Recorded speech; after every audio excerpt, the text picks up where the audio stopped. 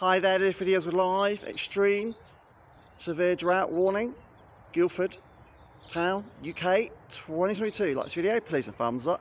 Time at the moment in digital and analog at the moment is 9.38am in the morning in the UK.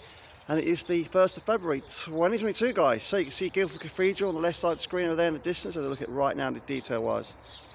It's beautiful. Built um, and finished, it was built, well, it was finished and it was opened in 19, 1955, I think it was, so roughly around that sort of time. It's not very old.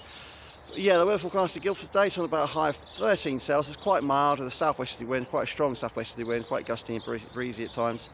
And the futures weather across uh, Guildford town and uh, the county so locally, talking about it staying quite dry and calm, and maybe some slight breezes and maybe light showers of rain, but nothing to worry about too much. It looks like it's um, coming into a serious drought across the county so locally at the moment uh, we the start of it anyway, um, if it continues to stay dry.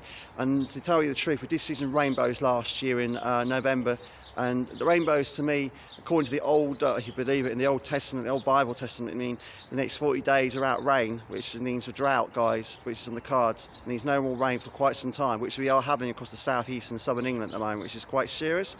So just take a note um, uh, about the future. Make sure you've got some leaf mulch in your garden in your garden. This weather's looking pretty seriously dry across the south of the UK. It could be quite a hot June this year across the south east and southern England. The hottest June since 2000 and uh, well, six if I'm right.